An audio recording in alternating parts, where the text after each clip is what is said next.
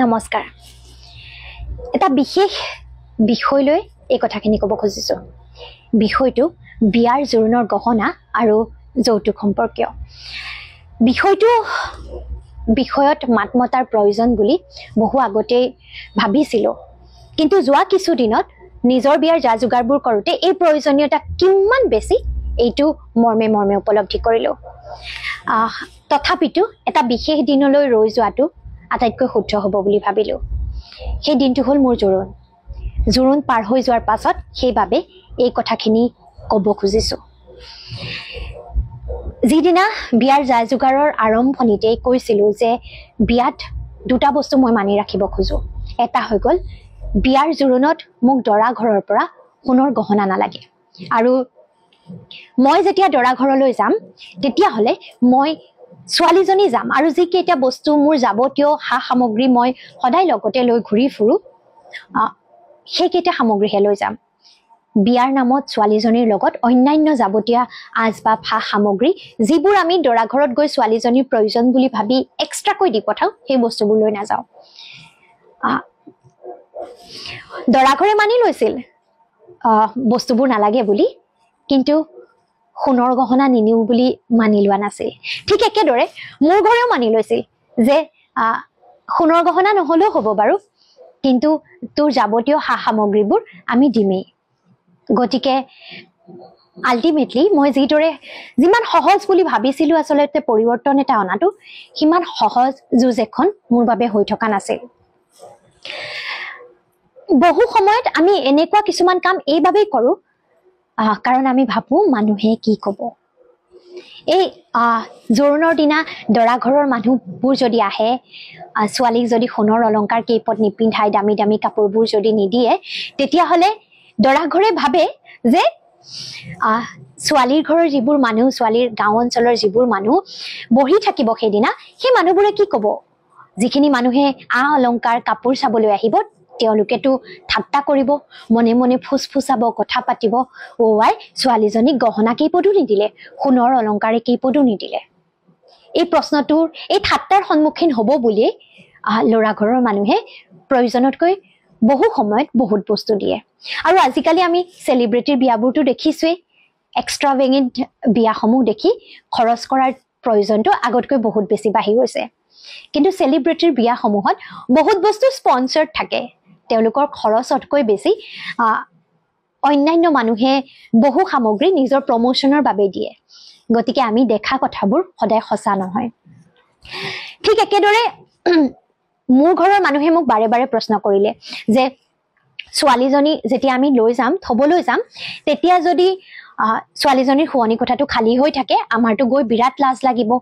আমাৰ আত্মসন্মানৰ কথা আছে। বিচনাখন যদি নাথাকে ছোৱালীজনী বিয়াৰ পাছত কিহত শুব?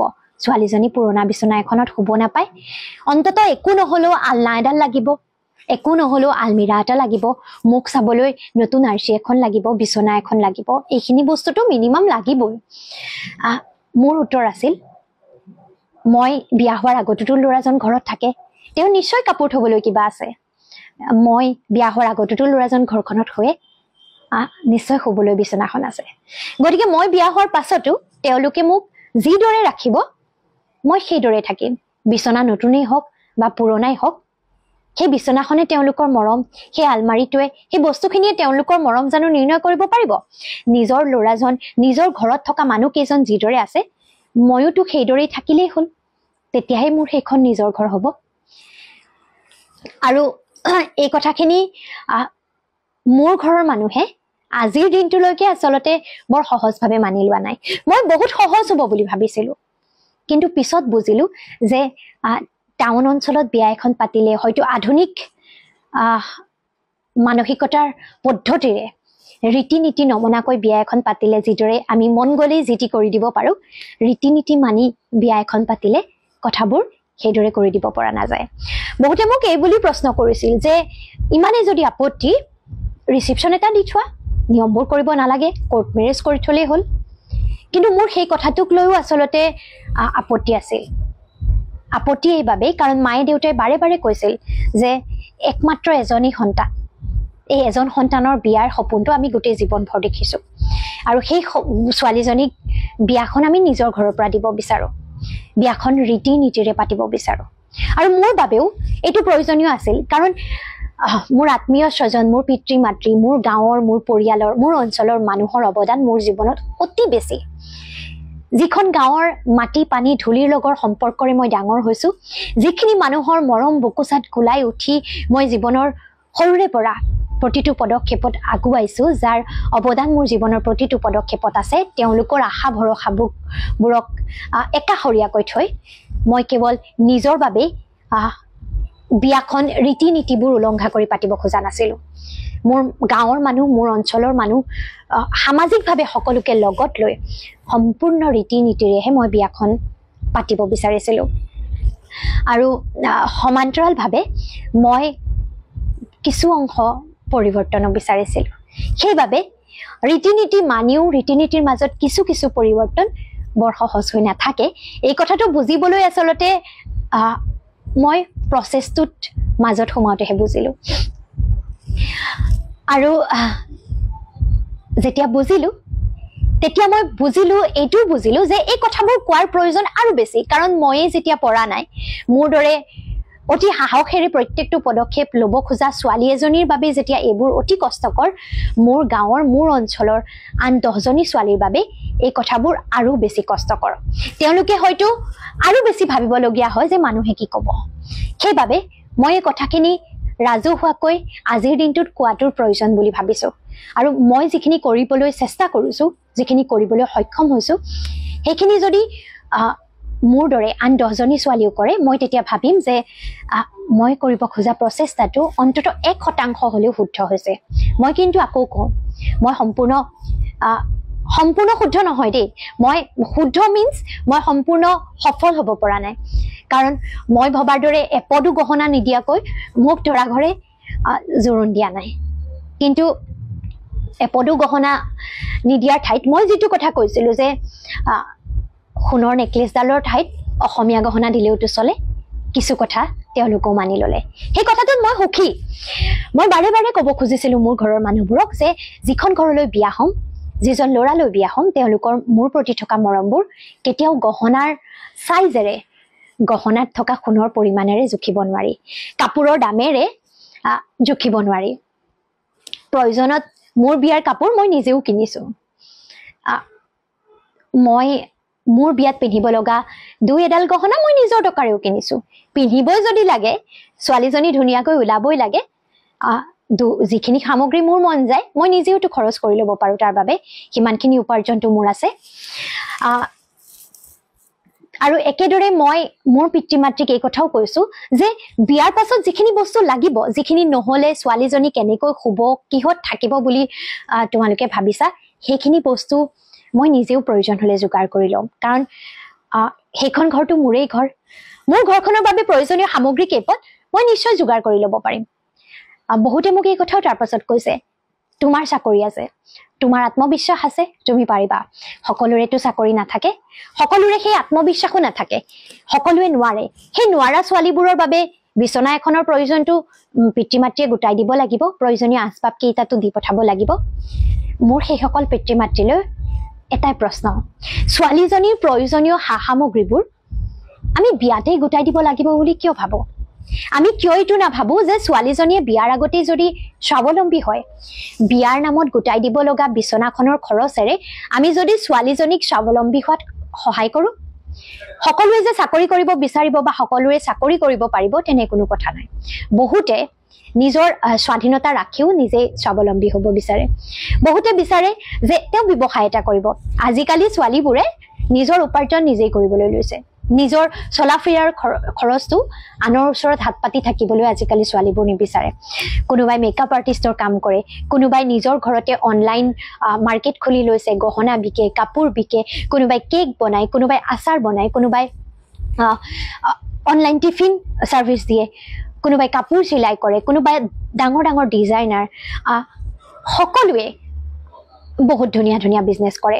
আৰু যিসকলে কৰা নাই তেওঁলোকেও ভাবে যে সামাজিক মাধ্যমৰ সহায়ত আন কিবা উপায়েৰে তেওঁলোকৰ নিজৰ উপাৰ্জন কৰিব। এই যে ছোৱালীজনীয়ে নিজেই স্বাৱলম্বী হ'ম বুলি আশা কৰি থাকে সেই স্বাৱলম্বিতাটোৰ ক্ষেত্ৰত যদি পিতৃ মাতৃয়ে গোটাই থকা টকাৰ কিছু অংশ ছোৱালীজনীক দি সহায় কৰে তেতিয়াহ'লে ছোৱালীজনী কিহত হ'ব? কেনেদৰে থাকিব বিয়াৰ পাছত কষ্ট পাব নেকি? এই প্ৰশ্নটো ভাবি বিয়াৰ সময়ত পিতৃ মাতৃ বিব্ৰত হ'ব লগা নহয়। কাৰণ পিতৃ মাতৃৰ এইটো আত্মবিশ্বাস তেতিয়া নিশ্চয় থাকিব যে ছোৱালীজনীয়ে নিজৰ যি প্ৰয়োজনীয় বস্তুকেইটা থাকিব বিয়াৰ পাছত গোটাই ল'ব পাৰিব। কষ্ট নোপোৱাকৈ চলিব পাৰিব। গতিকে মই ভাবোঁ যে বিয়াত কি দিম এই প্ৰশ্নটোৰ উত্তৰ ভবাতকৈ ছোৱালীজনীক কেনেদৰে স্বাৱলম্বী কৰিম এই প্ৰশ্নটোৰ উত্তৰ বিয়াৰ আগত ভবাটোহে আজিৰ দিনটোত বেছি প্ৰাসংগিক। কাৰণ আমি প্ৰায়ে দেখিছোঁ বিয়াত খুব সুন্দৰকৈ বিয়াখন হৈ যোৱাৰ পাছতো ছোৱালীজনী বহু সময়ত সুখত নাথাকে। এনে ঘটনা বৰ্তমানো আমি দেখি আছোঁ য'ত সকলো আশা ভৰসা শেষ কৰি ছোৱালীয়ে নিজৰ জীৱনো হেৰুৱাব লগা হয়। বিয়াত খুব ডাঙৰকৈ পতা বিয়াবোৰতো পিছত ছোৱালীজনী অকলশৰীয়া হ'ব লগা হয়। আৰু তাৰ পাছত যেতিয়া ছোৱালীজনীৰ নিজৰ উপাৰ্জন নাথাকে তেতিয়া ছোৱালীজনীয়ে নিজেই যেন বোজা হৈ পৰোঁ নিজেই আচলতে দিক বিদিক হেৰুৱাই দিশহাৰা হৈ হতাশগ্ৰস্ত হ'ব লগা হয়। আৰু সেই সময়ত পিতৃ মাতৃও ভাবিব লগা হয় বিয়াত ইমান টকা খৰচ কৰিলোঁ বিয়াৰ বাবে লোন ল'লোঁ মাটি বাৰীবোৰ বিক্ৰী কৰিলোঁ বিয়াৰ বাবে প্ৰয়োজনীয় সকলো বস্তু বিক্ৰীলোঁ মাকৰ সোণৰ গহনা কেইটাও বিক্ৰী কৰি দিলোঁ তাৰ পাছত বিয়া দিলোঁ বিয়াখন নীতিকিল। এতিয়া ছোৱালীজনীয়ে কি খাব? কেনেকৈ চলাম? এই প্ৰশ্নবোৰৰ উত্তৰ সেইসকল পিতৃ মাতৃয়ে বেছিকৈ ভাবিব লগা হয় যাৰ বাবে বিয়াখনৰ খৰচটো যোগাৰ কৰাটো অধিক কষ্টকৰ। বহুতে মোক এইটোও কয় যে যাৰ দিব পৰা সামৰ্থ্য আছে দিছোঁ আমি দিব পাৰিছোঁ আমি দিছোঁ তাত বেলেগৰ কি আপত্তি? নিশ্চয় আপত্তি কৰিব লগা নাই। কিন্তু যি দিব পাৰিছে দিছে। সেইসকলে দিয়াৰ বাবে যিসকলে দিব পৰা নাই তেওঁলোকৰ ওপৰত এটা মানসিক চাপ উৎপন্ন হয়। সামাজিক মাধ্যমত সততে দেখি থকা ফটোবোৰে আজিকালি ছোৱালীৰ মনবোৰতো এটা প্ৰেচাৰ ক্ৰিয়েট কৰে। চেলিব্ৰিটিৰ বিয়াবোৰৰ কথাটো ইতিমধ্যেই কৈছোঁ। গতিকে যিসকলে দিব পাৰিছে দিয়ে বাবে যিসকলে দিব নোৱাৰে তেওঁলোকে নিজৰ সমস্ত জীৱনৰ উপাৰ্জন খৰচ কৰি নিজৰ সন্তানৰ বিয়াৰ আয়োজন কৰে। আৰু তাৰ পাছত ধাৰে ঋণে পুতকৈ বিয়াত পাছৰ জীৱনচোৱা কষ্টত কটাব লগা হয়। তাৰোপৰি যি লোন লয় বহু সময়ত পিতৃ মাতৃয়ে লোন লোৱাৰ ফলত ৰিটায়াৰমেণ্টৰ টকা সমগ্ৰ খৰচ কৰাৰ পাছত বেমাৰ আজাৰ এটা হ'লেও তেওঁলোকে আচলতে দেখুৱাবলৈ ডক্টৰৰ ওচৰলৈ যাবলৈ টকা নাথাকে। বহু সময়ত সেই লোনৰ ধাৰ মাৰোঁতে মাৰোঁতেই বিয়া হোৱা দুয়োজন আচলতে ব্যক্তি লগতে তেওঁৰ পৰিয়াল খুব কষ্টত দিন কটাব লগা হয়। গতিকে বিয়াখন কেনেকৈ পাতি টকা খৰচ কৰিম তাতকৈ বিয়াৰ পাছৰ জীৱনটো কেনেদৰে সুখে দুখে কটাম কেনেদৰে বিপদে আপদে সেই বিপদবোৰক আচলতে লগত যুঁজ দিম সেই কথাটো ভবাৰ প্ৰয়োজনহে হয়তো বেছি। হয়তো বিয়াৰ খৰচ কৰা টকাৰে হেল্থ ইঞ্চুৰেঞ্চ এটা কৰি ৰাখিব পৰা যায় লাইফ ইঞ্চুৰেঞ্চ কৰি ৰাখিব পৰা যায় ইনভেষ্ট কৰিব পৰা যায়। এই যে সোণৰ গহনাত ইনভেষ্ট কৰাতকৈ গল্ডতে ইনভেষ্ট কৰি থ'ব পৰা যায় ডিজিটেল গল্ডত মিউচুৱেল ফাণ্ড এছ আই পিত ইনভেষ্ট কৰিব পৰা যায়। কাৰণ সেই টকাটো সঁচা সঁচি ইনভেষ্টমেণ্ট বহুতেই মোক কৈছে যে সোণৰ গহনা এ আইক ইনভেষ্টমেণ্ট ইনফেক্ট ছোৱালীবোৰৰ এই কথাটো কয় যে সোণৰ গহনাটো ইনভেষ্টমেণ্টহে মোৰ পৰিয়ালৰ মানুহেও কৈছে এয়াতো খৰচ নহয় এয়া ইনভেষ্টমেণ্ট কিন্তু আপুনি ভাবকচোন ছোৱালীজনীক দিয়া সোণৰ গহনাডাল ধৰি ল'লোঁ কাইলৈ দৰাজনৰ ঘৰত এটা বিশেষ বিপদ আহিল আৰু দৰাজনৰ ঘৰে তেতিয়া ছোৱালীজনীক সোণৰ গহনাডাল বিচাৰিব পাৰিবনে বিক্ৰী কৰিবলৈ? বা ছোৱালীজনীয়ে ঘৰৰ পৰিৱেশটো বুজিও সেই গহনাডাল বিক্ৰী কৰিবলৈ উলিয়াই দিলে বাকচৰ পৰা। দৰা ঘৰৰ মানুহে বিক্ৰী কৰিব পাৰিবনে? আৰু যদি বিক্ৰী কৰেও সেইসকল মানুহ যিসকল মানুহে কি ক'বৰ ভয়ত ইমান বস্তু দিয়া যায় সেইসকল মানুহে তেতিয়াও জানো নক'ব। অ' ৰাম বিয়াত ছোৱালীজনীক দিয়া গহনা কেইপদো বেছি দিলে তেওঁলোকে। সেয়াও এক অত্যাচাৰ বুলিয়েই যেন বৰ্ণনা কৰা হ'ব। লাগিলে সেই খৰচটো ছোৱালীজনীয়ে নিজ ইচ্ছাৰেই নকৰক কিয়? তাকো লৈ কোনোবাই ফুচফুচাই আলোচনাটো নিশ্চয় কৰিব। গতিকে সেয়া ইনভেষ্টমেণ্ট হয় জানো? যি ইনভেষ্টমেণ্ট বিপদৰ সময়ত ব্যৱহাৰেই কৰিব নোৱাৰি সেই ইনভেষ্টমেণ্ট প্ৰয়োজনতকৈ অধিক কৰাৰ প্ৰয়োজনেই বাকী। নিশ্চয় দিব পৰাখিনি বহুতেই দিবই পাৰে কিন্তু দিব নোৱাৰাকৈ কোঙা হোৱাতকৈ দিয়াতকৈ আজিকালি মানুহক দেখুৱাবলৈ ইমান ধুনীয়া ধুনীয়া অসমীয়া গহনা আছে। এই ইমান ধুনীয়া ধুনীয়া আচলতে সোণৰ দৰে একেই গহনা কিনিবলৈও পোৱা যায়। ৰূপত সোণপানী চৰোৱা তামত সোণপানী চৰোৱা। গতিকে বিয়াখনত যদি ছোৱালীজনীৰ ডিঙিটো খালিয়েই থাকিব নালাগে দেখিবলৈ ধুনীয়াই হ'ব লাগে আমিতো অসমীয়া অসমীয়া গহনাবোৰো পিন্ধিব পাৰোঁ। আৰু যদি বিয়াৰ পাছত ছোৱালীজনীৰ মনেই যায় নিজ ইচ্ছাৰে তেওঁ নিজৰ উপাৰ্জনেৰে কেতিয়াবা দুয়োজনৰ উপাৰ্জনেৰে কিনিবই পাৰে বা নিজ ইচ্ছাৰে কেতিয়াবা স্বামীও বিয়াৰ পাছত পত্নীগৰাকীক মৰমত কিবা এটা দুটা বস্তু দিবওতো পাৰে। কিন্তু সেয়া সামাজিক ভয়ত নিশ্চয় দিয়া নহয়। ঠিক একেদৰে ল'ৰাজনৰ যদি ছোৱালীৰ পৰিয়ালক এই বিশ্বাস দিয়াব পাৰে বা ল'ৰাজনৰ পৰিয়ালে যদি ক'ব পাৰে যে ছোৱালীজনী বিয়াৰ পাছত আমাৰ ঘৰখনৰ মানুহবোৰ আমি যিদৰে থাকোঁ ছোৱালীজনীকো তেনেদৰে ৰাখিম। ছোৱালীজনী কিহত খাব কিহত শুব ক'ত কাপোৰ থ'ব ক'ত আই মুখ চাব এইবোৰ কথা আপোনালোকে ভাবি ভয় খাই থাকিব নালাগে। তাই আমাৰ পৰিয়ালৰ এটা অংশ গতিকে পৰিয়ালৰ বাকীসকলে যিখিনি অভাৱ অভিযোগ অনুভৱ নকৰে তাইকো আমি সেই অভাৱ অভিযোগ অনুভৱ কৰিবলৈ নিদিওঁ। ছোৱালীজনীয়ে যদি নিজে বিয়াখন ঠিক কৰে ভাল পোৱাৰ সম্পৰ্ক হয় তেতিয়াহ'লে ছোৱালীজনীয়ে পিতৃ মাতৃক যদি ক'ব পাৰে যে মই এনে এজন ল'ৰালৈ বিয়া হৈছোঁ যি মোৰ সপোনবোৰক বুজে যি মোৰ ভৱিষ্যতে কৰা আশা সপোনবোৰ পূৰণ কৰাত সেই সপোনবোৰ সফল কৰাত মোৰ দৰেই সমানেই অংশীদাৰ হ'ব। তেওঁৰ মৰম ভাল পোৱাবোৰ সোণৰ গহনা অলংকাৰ পৰিমাণ আৰু কাপোৰৰ দামেৰে নোজোখিবা। তেওঁ মোক কিমান সন্মান কৰিব?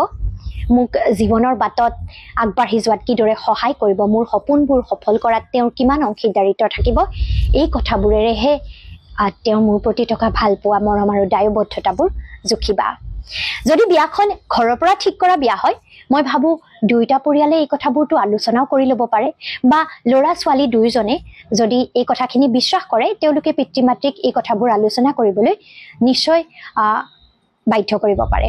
ছোৱালীৰ পৰিয়ালে যদি কয় আমি ছোৱালীজনীহে দিম লগত যৌতুক নিদিওঁ লগত বস্তুবোৰ নিদিওঁ আপোনালোকে ছোৱালীজনীহে পাব কিন্তু।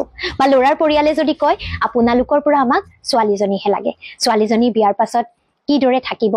খাবলৈ পাবনে নাই শুবলৈ পাবনে নাই তাৰ চিন্তা আপোনালোকে কৰিব নালাগে।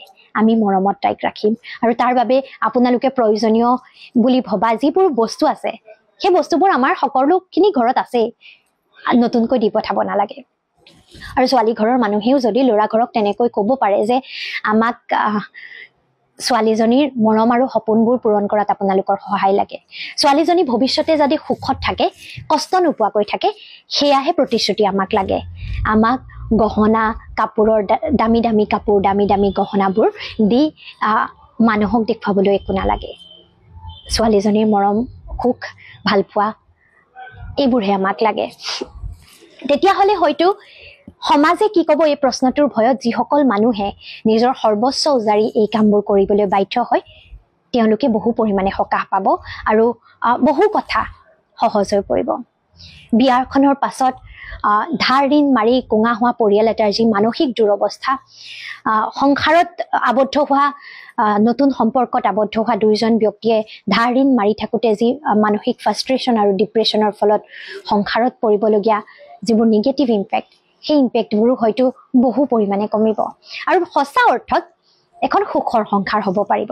কাৰণ তাত ধাৰ ঋণ এইবোৰ নাথাকিব আৰু তেওঁলোকৰ প্ৰয়োজনীয় সামগ্ৰীবোৰ তেওঁলোকে দুয়োজনে নিজ উপাৰ্জনেৰে নিজ কষ্টৰে দুদিন দেৰিকৈ হ'লেও এপদ এপদকৈ গোটাই ল'ব পাৰিব। আৰু তাত কোনেও কাকো কেতিয়াও দুখিব লগা বা বেয়াকৈ ক'ব লগা নাথাকে। বহু লগৰ ল'ৰাই মোক এইদৰো কৈছে ছোৱালীবোৰে নালাগে বুলিহে কয়। মনে মনে আশাই কৰি থাকে। গতিকে আজি যদি নিদিওঁ কাইলৈ কিন্তু পিছত কথা শুনাব। এইটোৱেই নিদিলা সেইটোৱেই নিদিলা বুলি।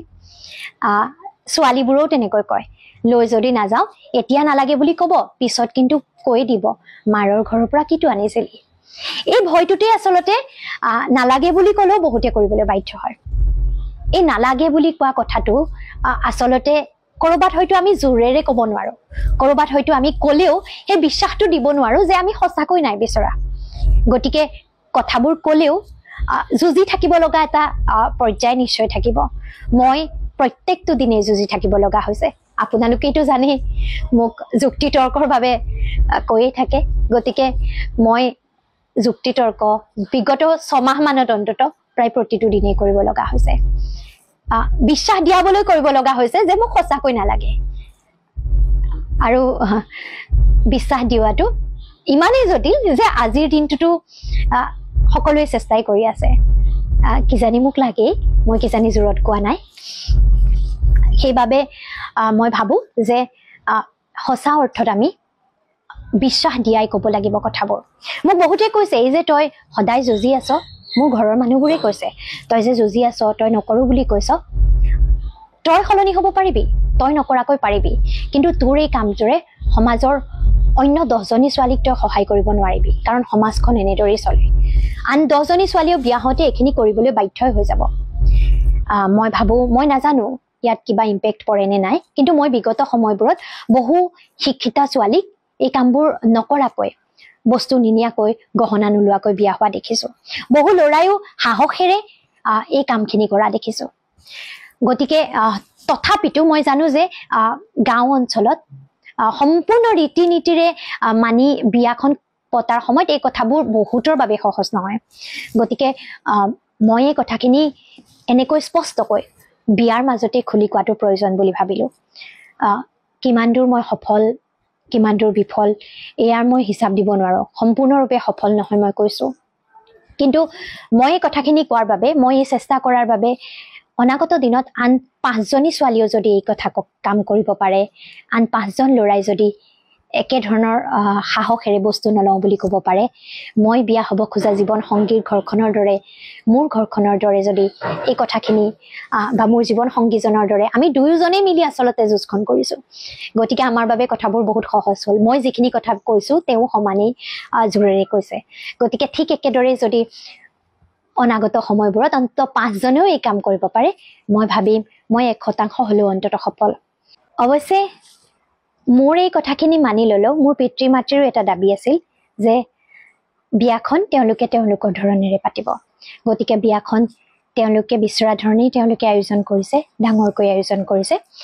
আৰু মই জোৰোণৰ মাত্ৰ এদিন আগত আহি ঘৰ পাইছোঁ। গতিকে বিয়াৰ আয়োজন সম্পৰ্কে মই বিশেষ একো অংশগ্ৰহণ কৰা নাই আয়োজনত মোৰ একো অংশীদাৰিত্বও নাই।